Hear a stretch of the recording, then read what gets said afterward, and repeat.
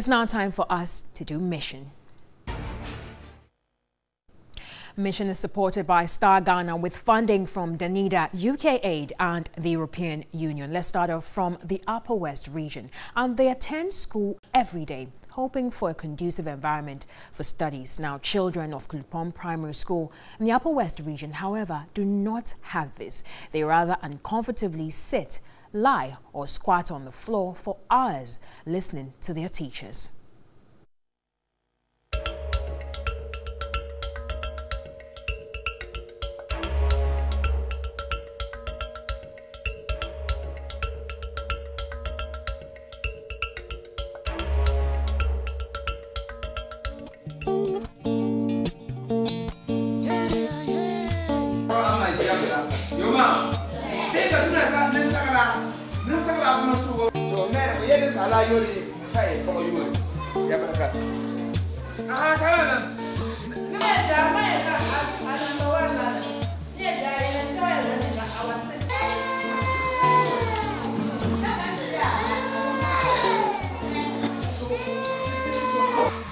It is another day, and the children expect to be taught new things. School is exciting, and so many are happy.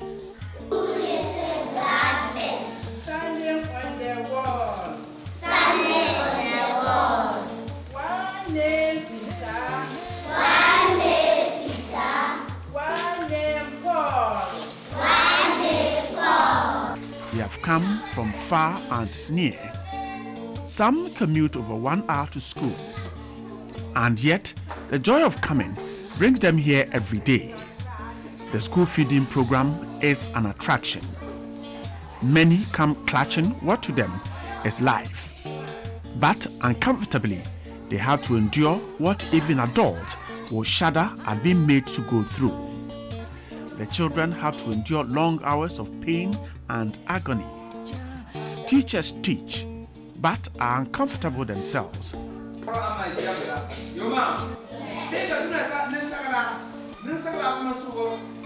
Put up in 2011, the Kulkpong Primary School was not lucky.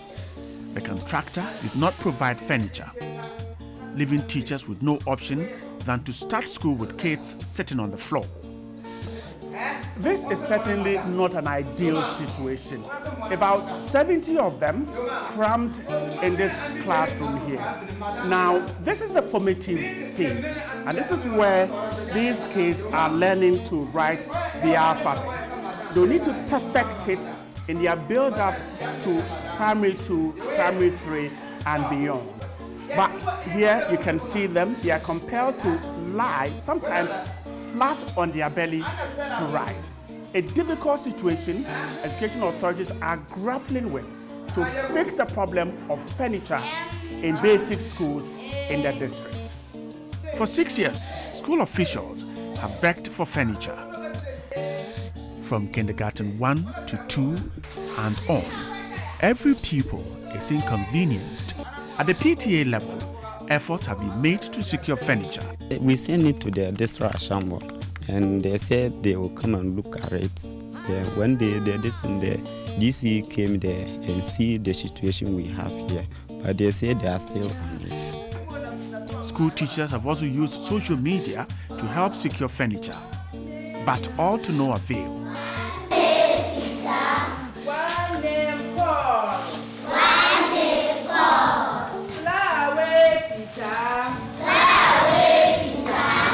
Upper primary level is not spared.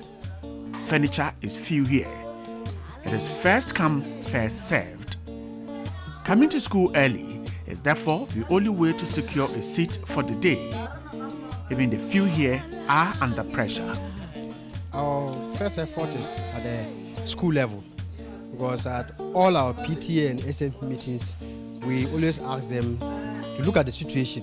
They will come in, we'll take them through the classes for them to look at the situation of the people while they are sitting on the floor. And first effort is for, from them, some of them started constructing furniture for themselves. Like if you look at the classroom, you see some of the furniture they have constructed. That's the first effort we have putting through through the parents. We've written a number of letters to the uh, GES office got a request for, for us to give the, uh, the office the situation of our schools. The Education Directorate is simply begging for a savior provide furniture for these kids. At the BECE level, we were bottom, second from the bottom in the National League table. And 2015, we went to 74th position. And the enrollment has improved. Teacher situation has also improved a little. So there is a tremendous uh, improvement in the education regards to academic work, staffing situation, and uh, even community com commitment towards supporting education in the district. And UNICEF is doing very well in this regard and Plan Ghana. At the assembly level, motions are being moved to push for provision of furniture, but funding is a challenge. I realize that we still need more infrastructure uh, for some communities. Uh, uh, if we also go to the area of accommodation, you realize that most of the schools that we have in Wa East District, uh, we don't have teachers accommodation. Teachers in such communities uh, actually do suffer because those that are even closer to Wa will have to live in Wa and commute to the schools every day. So that actually sometimes can cut away uh, some working hours. The District Education Directorate says records indicate education is improving, but agrees that a lot more is needed by way of infrastructure, teachers, and teaching and learning materials to see a complete transformation. Right, Nanafo? TV3.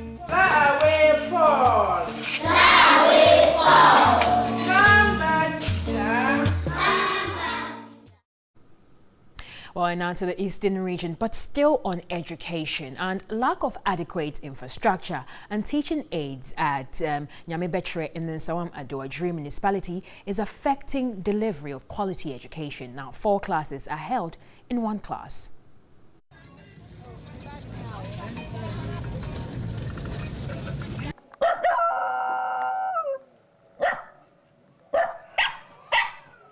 Nyamebekyere, a typical farming settlement in the Nsawam municipality of the eastern region, is less densely populated, but residents contribute their quota to the country's food security.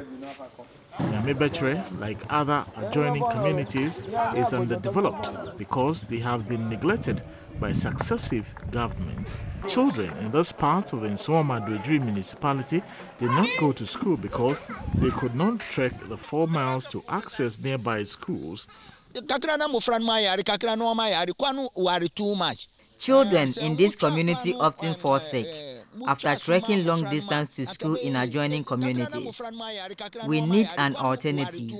This was until the residents took the initiative to establish this school and now the children can receive formal education, but this comes with a challenge. Those who are in class uh, 2 and those who are in nurseries up to KG1, they are combined in one classroom. So early in the morning, you see the children, that is where they start learning. So in the beginning, they'll start reciting their poems. So whilst the basic two move out of the class to stay under a tree. The school has only two sheds with limited teaching staff. One semi-makeshift structure accommodates four classes, while the other serves two classes. Concentration in each class is difficult, especially when all classes under the shed are in session.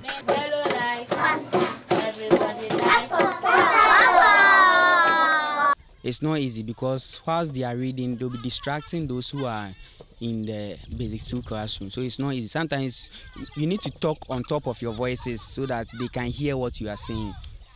Some nursery pupils come to school with little or no feeding fee at all, a situation subjecting some of them to hunger, thereby making it difficult for them to concentrate in class. Pupils in this school, after graduating from class 3, will stop because there are no additional classrooms to accommodate them. Peoples go in search of stones to support the construction of additional structure.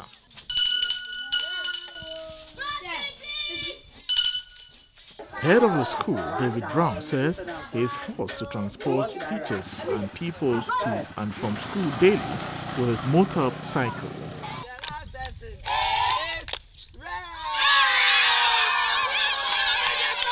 Poor education is not the only problem facing Nyamebekyere. Parents say the absence of social amenities, including a health facility and electricity in Nyamebekyere and adjoining communities, compound their plight. For a long time, the MP said that he was coming to help the community. But almost five months, they have already dig the put in the pole. But till now, there is no wire, but the wire other place. There is no clinic in this community. The distance we cover to access healthcare is worrying. Provision of a CHPS compound will help us. They want their challenges addressed. Well, that's all for Mission tonight. Mission is supported by Star Ghana with funding from UKAID, Danida and the European Union. Over to you, Isa. Right, Solis, and uh, you were saying the story reminds you of something, a story that you did. Oh, I just ago. wanted to say a good evening to the MCE of the Ga South Municipality, Joseph Stephen Nyani. Good evening. Right, I'm sure he's heard you. Now,